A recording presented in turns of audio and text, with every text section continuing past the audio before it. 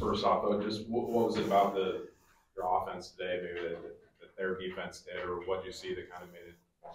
I just think it was a, it was a team loss.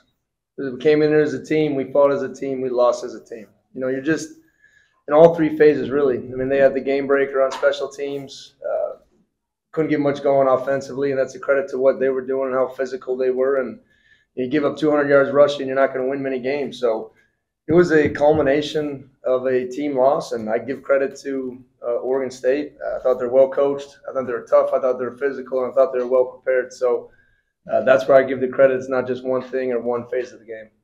The, the Oregon State ru- rushing offense, I, how would you gauge how you guys were able to slip the slip ups? What kind of slip ups did you see maybe the, in, in your rushing defense? Well, I just think it was hit and miss. I, I don't have the, the exact stats, but you know, I think there's too many big ones. You know, I thought there was consistent for a while. Then the you know the game breaker there towards the end of the third quarter, that fourth quarter one was was the big one, and um, just really got us in the wrong call at the wrong time, and didn't quite get over the top on a fit or got too far up with the DT. I got to see the film really to check it out, but you, you know, it's hard. They do a good job. You know, I think they do a really good job at the line of scrimmage and and moving guys and staying consistent. And we just could never quite figure out their boot game tonight. And I thought they just kept us off balance a little bit uh, as far as on the defensive end. How do you assess the, uh, the, uh, the offensive line, especially with some moving parts on the right side of the line and having to switch in a few guys, especially when Fa'alili left the game in the second? Well, I think anytime you get yourself in a position where all you have to do is throw the ball, sometimes it's going to be challenging. You know, so to not play ahead in the score or ahead in the chains and you know, the, the D line of, of Oregon State, they had some opportunities to tee off on us. You know, but I thought for the most part, you know, we kept Fa'alili in the game because we felt like he was pretty consistent throughout the first half. You know, so we brought Grant in. You know, Ma'ake subbed in a little bit when he went down, but I think overall it was okay. But there's just too many times where we're just getting pressure, and Cam is, you know, not being able to get through his progressions and doing a bunch of different things. So um, until I see the tape, I don't know exactly, but I thought it was it was okay. It seemed like the I, I know OSU's the defensive backs are you know kind of touted. It seemed like the receivers were having uh, trouble separating from them on some downfield stuff. No, I I know they got a strong secondary coming in, and I thought we felt that. Uh, I know it's going to be hard to get off some press man and some man coverage. They have some phenomenal length out on the edges, and I thought they they played as advertised. I thought they really did. I thought we had some opportunities in the slot to to make some plays. And we still got to make sure when we throw the deep ball, we're just not giving our guys opportunities to go make plays. And that's really been a trend, uh, really the whole season. You know, let those guys go make some. You know, so that ball's ended up out of bounds too many times. So I just think uh, credit to Oregon State, credit to their plan. I thought they kept us off balance, and we could just never get enough of a rhythm offensively.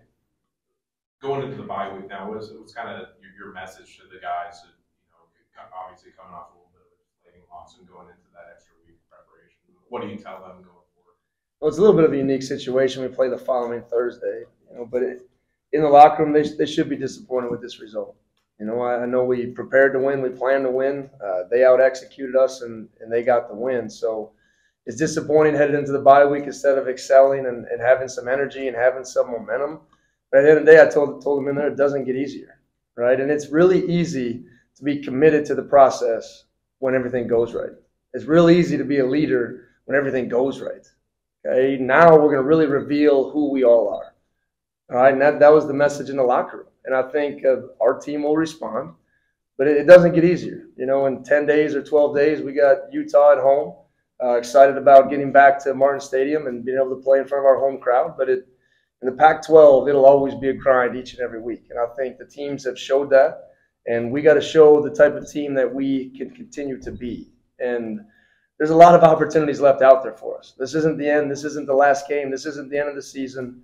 But we got to make sure we're responding and getting better each and every day. And I'll take, you know, the, the responsibility to do that. You know, we, we didn't we didn't play our best today, and that falls on me. And we got to make sure we're doing everything we can to get our guys recharged and ready for a, a fantastic Utah team that'll be at our place. Can you feel the absence of guys like Renard and Nakia when the offense like that, and just having those leaders on the field as well? But always, you know, but it's that time of year. I mean, it really is. They're playing with their backup quarterback. I mean, there's no excuses, you know. So I thought Renard uh, made the trip. He's a captain. I thought he had great energy. I thought he's had great energy all week, and he's approached it about as mature as a veteran player possibly can. And I think that's a credit to who he is as a person, his character, his mentality. You know, it was hard, you know, without Nakia and he wasn't on the trip, but yeah, we miss our some playmakers, you know, but that's the depth that we're trying to build within our program to make sure when you lose guys, that's going to happen in this game, that you don't miss those beats. And, and our guys, uh, you know, I thought for the most part they fought really hard. obvious difficulties out there, but were there some things that you were impressed by? Were there some positives? Well, we don't quit. You know, I know we got a bunch of men in that locker room that they're not going to quit. They kept battling. They they kept believing that this thing could happen, even though we just couldn't quite get over the hump. Though we did a good job adjusting in some things throughout the game. You know, we had some opportunities to get some more takeaways. I think we dropped a pick. There were some fumbles on the ground that, that we didn't get an opportunity to get.